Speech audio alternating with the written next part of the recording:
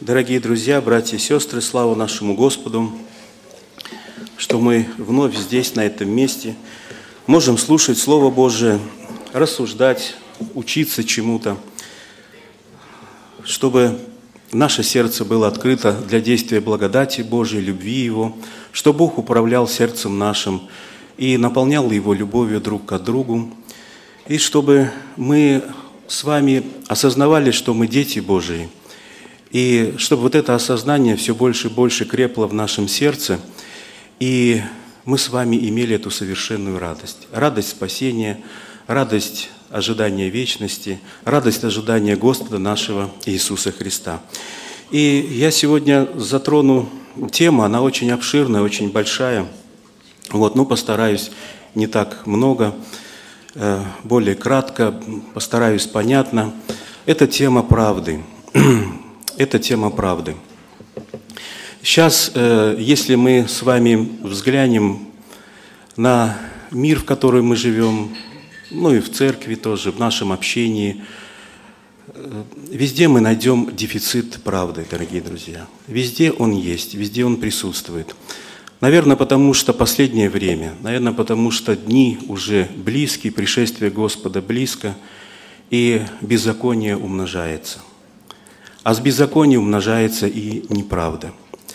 И поэтому вот в это последнее время, э, я думаю, мы ясно и четко должны с вами, как дети Божии, ощущать вот этот вот дефицит правды, чтобы правда в нашей жизни утверждалась, и ее было видно, потому что слова правды – это сила. Э, так говорит Иов.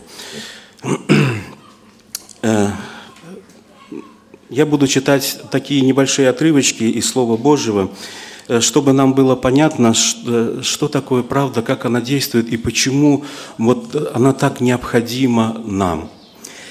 Э, начну с книги «Исход», 23 глава, это второй стих.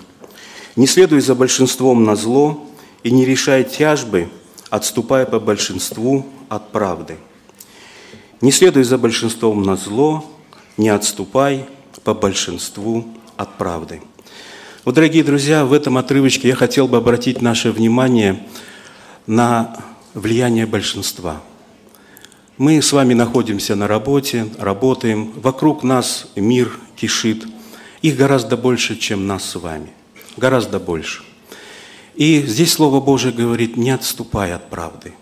Не отступай от правды по большинству. Потому что большинство, оно всегда имеет влияние. Вообще я хочу сказать э, одну такую мысль, дорогие друзья, братья и сестры, что правда, она сама по себе, она очень неудобная. Она очень неудобная. Потому что вот и первый брат сказал, что крайне испорчено сердце человеческое, оно лукаво. Вот если взглянуть, то нам всегда хочется ну, что-то не договорить. Нам всегда хочется выглядеть гораздо лучше, чем мы есть на самом деле. И, допустим, если ты приходишь в собрание э, постоянно, а потом раз какое-то воскресенье вдруг не пришел в собрание, подходит тебе, брат, где ты был, как ты это? И, ну, хочется сказать что-то такое, чтобы не пасть в его глазах. И начинается вот это вот, ну, юлишь немножечко, останавливаешься, думаешь, да, понимаешь, вот пробка не успел, опоздал, потом решил вернуться назад. А что на самом деле? Ну, я, братья, так ультрированно, братья сестры, церковь дорогая. А на самом деле стыдно признаться, что просто проспал. А вот сказать, да, брат, ну, проспал, вот просто проспал. А чтобы не упасть в его глазах, начинает человек, и даже верующий, что-то придумывать, что-то недоговаривать. И это очень и очень плохо влияет на духовное состояние и на духовную жизнь, и на общение с Господом Иисусом Христом. И вот это вот влияние большинства, оно очень, оно очень пагубно. Поэтому знать правду и говорить правду – это очень и очень важно. И Второзаконие – 16 глава, э, это 19 и 20 отрывочек. «Не извращай закона, не смотри на лица и не бери дара, ибо дары ослепляют глаза мудрых и превращают дело правых. Правды, правды ищи, дабы ты был жив и овладел землею, которую Господь Бог дает тебе». Моисей говорит слова народу израильскому, «Правды, правды ищи». Братья и сестры, он здесь говорит два раза. Моисей любил два раза, два раза в скалу ударил. Здесь он говорит два раза. И я думаю, это не случайно, потому что это очень важно. Он хочет, чтобы в сознании народа израильского осталось это слово. Правды, правды ищи. Ищи правды. Не оставляй этого пути, потому что на этом пути жизнь. И он говорит, что правды, правды ищи, чтобы наследовать вот эту вот обетованную жизнь и остаться в ней долгие-долгие годы, чтобы и дети твои остались в этой земле. Но мы помним из истории Израиля, что все было наоборот. Они извращали суды, они делали все буквально наоборот. И, дорогие друзья, я сейчас приведу одну такую историческую справку. Я совершенно недавно ее прочитал, и она меня тоже очень сильно поразила и очень сильно удивила. Мы знаем, что во времена Иисуса Христа э, был Синедрион. Это такая вот судебная палата, где выносили решения. Этот Синедрион приговорил Господа нашего Иисуса Христа к смертной казни. Этот же Синедрион бил апостола Петра и всех апостолов, запрещали им говорить об Иисусе Христе. Этот Синедрион творил вот такие вот вещи – и вопрос всегда возникает в чем? А почему? У народа было Слово Божье, у народа был закон Божий. Они знали заповеди. У них был храм, у них было жертвоприношение. Вроде бы все хорошо, все здорово, все прекрасно. Исполняют заповеди, соблюдают э, Пасху и все праздники. Но почему-то Мессию своего не узнали. Почему-то апостолам запрещали говорить правду. И, дорогие друзья, меня поразило Э, мнение вот этого брата. Он сам еврей и верит в Иисуса Христа. И он сказал, вы знаете, они до того извратили Слово Божие. Вы помните, что я вначале прочитал? Да? Не следуй за большинством на зло. Они до того извратили Слово Божие, что говорили, следуй за большинством. А дальше не говорили ни о правде, ни о чего. И так они учили народ. И говорили, следуй за большинством. И он привел такой пример. Если встанут 50 пророков – которые будут говорить именем Божьим, и встанет 51 член Синедриона, если 51 член Синедриона скажет на черное белое, они будут сто раз неправы, то все должны признать, что черное – это белое – и эти пророки должны признать свою неправоту. Вот такой был закон, и такое было правило, и такое было постановление в народе и в этом Синедрионе. Если из 70 человек 40 человек скажут казнить, значит будет казнь. Хотя, хотя по закону того времени, если хотя бы один человек в Синедрионе против смертной казни, казнь должна отложиться. Но когда Господа нашего Иисуса Христа судили и осудили Его на казнь, было нарушено более 20 процессуальных вот этих вот моментов. У меня где-то есть этот список, потом как-нибудь я прочитаю. Но вот один из этих вот главных, как они извратили, как вот эту правду Божию, Слово Божие превратили, извратили и сделали совершенно противоположное ложное. Поэтому они и не могли узнать Мессию, поэтому они и не могли принять Господа Иисуса Христа, потому что Он говорил правду о них. Он их обличал и говорил, что вы посмотрите в свое сердце, сколько там неправды, посмотрите в свое сердце, сколько там лжи, посмотрите в свое сердце, сколько там нечистоты. И Он призывал их, очистите внутренность вашу, и потом у вас будет все по-другому. Но они не хотели этого делать, потому что правда Господа Иисуса Христа была для них очень и очень неудобна. И они нашли один единственный выход – это предать его на смерть, предать его на распятие. И, дорогие друзья, вот по поводу того, что ищи, ищи правды. И Господь наш Иисус Христос в Евангелии от Матфея, я думаю, вы все сразу вспомнили параллельные места. Это Матфея, 6 э, глава, 33 стих. Мы его знаем наизусть. «Ищите правды, ищите же прежде Царствие Божие и правды Его, и это все приложится вам». Ищите прежде Царствие Божие и правды Царства Божьего. Иисус Христос в пятой главе Матфея начинает свою Нагорную проповедь и в шестой отрывочке говорит так. «Блаженны алчущие и жаждущие правды, ибо они насытятся». Блаженны, счастливы те, кто жаждет и ищет правды, они насытятся. Вот увидите, дорогие друзья, церковь дорогая, какая связь между Ветхим Заветом и Новым Заветом. То, что говорил Моисей, то же самое говорит Иисус. Моисей говорил, ищите, ищите правды.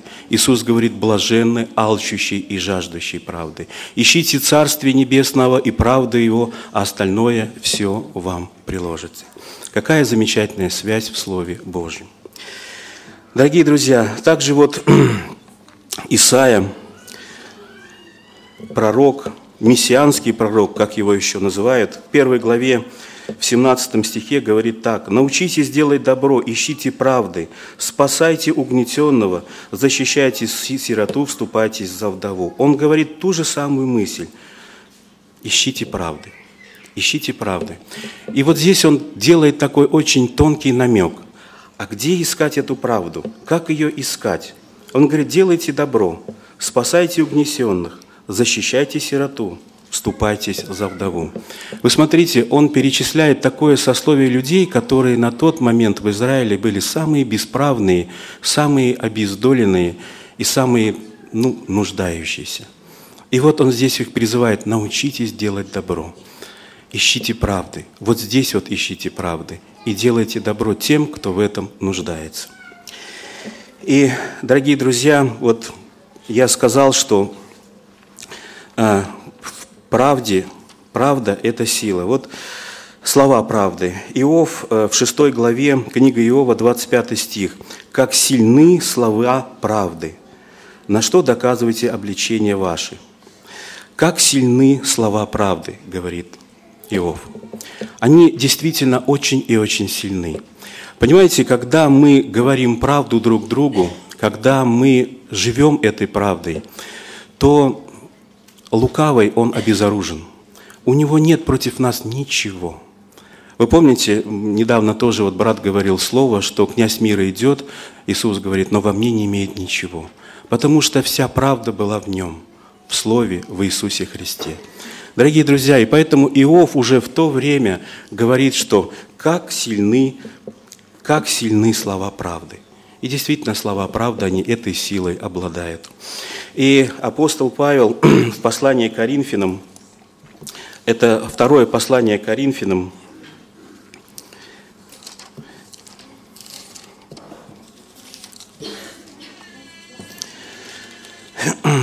шестая глава, седьмой стих. Он говорит о том, э, о служителях. Вот мы вот служителя, говорит, вот мы служим Богу. И в чем мы находимся? В чистоте, в благоразумии. И дальше он говорит в седьмом отрывочке, в слове истине, в силе Божией, с оружием правды в правой и левой руке. Смотрите, как Иов говорит, правда, слова правды сильны. Апостол Павел вторит ему, мы, служителя Божьи, мы, дети Божьи, и у нас в обоих руках меч правды, оружие правды и в правой, и в левой руке. Кроме этого ничего у них нету в руках. Оружие правды. И дальше апостол Павел в 9 стихе говорит, и, дорогие братья и сестры, вот Слово Божие, оно всегда настолько мило, настолько полно любви, когда оно нас обличает, оно показывает нам выход. И в то же время и дает обетование, обещание. И вот когда мы с вами живем в правде, когда у нас оружие правды в правой и левой руке, то смотрите, что в 9, стихе, в 9 главе, в 10 стихе написано. «Дающий же семя сеющему и хлеб пищу подаст обилие посеянному вами и умножит плоды правды вашей». То есть, как замечательно это звучит. Мы творим правду, а Господь умножает плоды правды нашей. Неужели это плохо? Если я сказал правду, чуть-чуть, даже маленькую, просто пришел на, не пришел на собрание и спросили, а почему ты не пришел, я говорю, да я проспал. Вы знаете, вот этот плод правды, вот этот плод правды, да, он меня немножко унизил, да, он показал меня немножко не в том свете, возможно, но вот этот плод правды Господь обязательно умножит. И Слово Божие настолько точно и верно, Он не пишет, что Он прибавит, Он говорит умножит. То есть сделает в два раза больше, в три раза больше, в четыре раза больше. Два плюс два будет четыре. Но если четыре умножить на два, получится восемь. То есть умножение – это гораздо больше, чем прибавление. И дал бы нам, братья и сестры, Господь вот так вот жить, любить правду и искать правду всегда. И дальше еще хотелось бы продолжить свои рассуждения. И 2 Тимофея, 2 глава, 19 стих. «Но твердое основание Божие стоит, имея печать сию. Познал Господь своих, и да отступит от неправды всякий, исповедующий имя Господа». Этот стих безоговорочно говорит нам о том, что у нас нету с вами другого выхода, дорогие друзья, братья и сестры. Если мы дети Божьи, то Господь поставил на нас свою печать. И нам дал одно только основание. И это основание звучит так. «Да отступит от неправды всякий, исповедующий имя Господа». Другого пути у нас с вами нет. Это путь Господень. И нам с вами только одно – оставлять всякую неправду и желать только правды. И еще 2 Тимофея 2,22 «Э, «Юношеских похотей убегай, одержись правды, веры, любви, мира со всеми призывающими Господа от чистого сердца». Оказывается, чтобы держаться правды, надо от чего-то убегать. И Слово Божие верно. Если мы не будем убегать от греха, если подростки и юноши не будут убегать от своих похотей, то мы можем увязнуть в этих похотях и в этих грехах. И поэтому апостол Павел четко говорит Тимофею, юному служителю, убегай. Но нету другого выхода, братья и сестры. Так как Иосиф бросил все, одежду, все, что было, все, и убежал.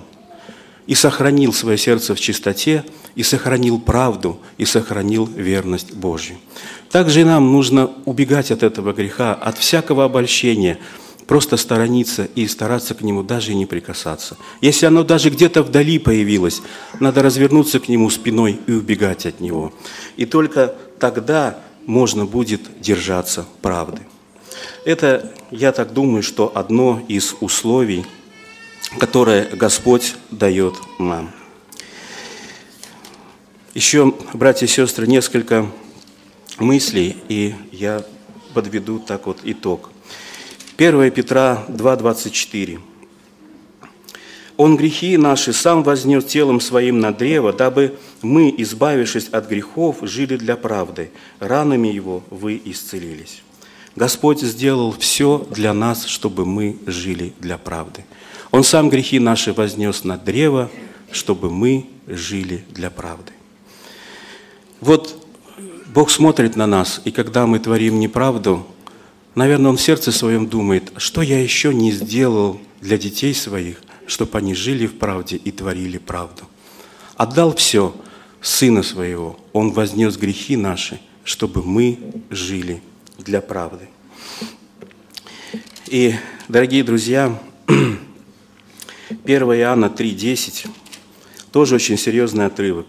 «Дети Божии дети дьявола узнаются так. Всякий, кто дел... всякий делающий правду, всякий не делающий правды, не есть от Бога, равно и не любящий брата своего».